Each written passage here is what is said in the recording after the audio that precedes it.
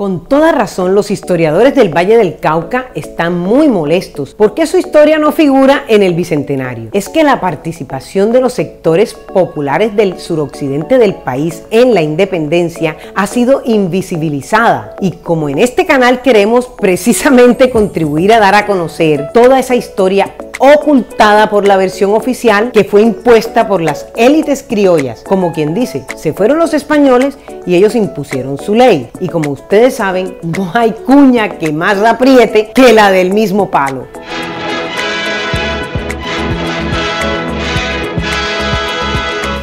Élites criollas del suroccidente fueron protagonistas de la independencia porque los chapetones siempre los excluyeron. En 1743 hubo una protesta de estos en contra de las autoridades españolas que se llamó el motín de los caicedos. Con el grito de muerte a los perros chapetones destruyeron nada menos que la horca que era el símbolo de la autoridad del rey. Pero también los más pobres participaron en las rebeliones, generalmente liderados por la iglesia. Seguramente los curitas se sentían impotentes ante tantas injusticias e iniquidades del régimen colonial y decidieron atizar la hoguera.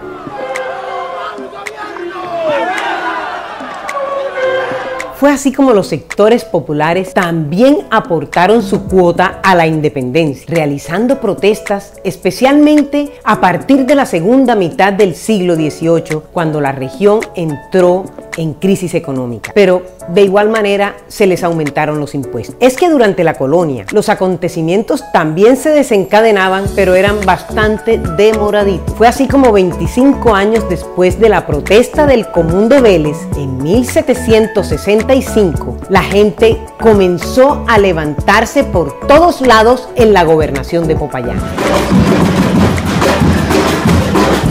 ocurrieron graves actos en noviembre de ese año. Primero en Cartago, Toro y Anserma. Allá los vecinos amenazaron a las autoridades con quemar los edificios de la administración si no se suprimía el estanco del aguardiente. Pero también hubo protestas en Quibdó y otros lugares, hasta que un mes más tarde, en diciembre, el común de Cali se levanta contra el estanco del aguardiente y en contra de otros impuestos excesivos que agobiaban al pueblo. El virreinato comenzaba a prenderse.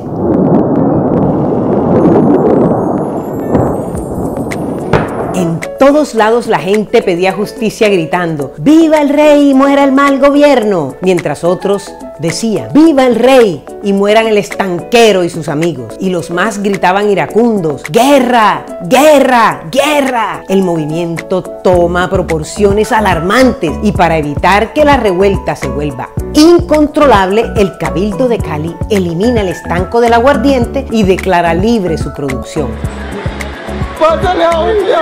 Todos esos movimientos terminaron en soluciones negociadas y los sectores pobres iban aprendiendo que la protesta social era efectiva para quitarse la opresión colonial de encima. Estos antecedentes de las protestas populares contra las alcabalas de Vélez y los estancos de Cali fueron los cimientos para la gran revuelta de los comuneros del Socorro en 1781.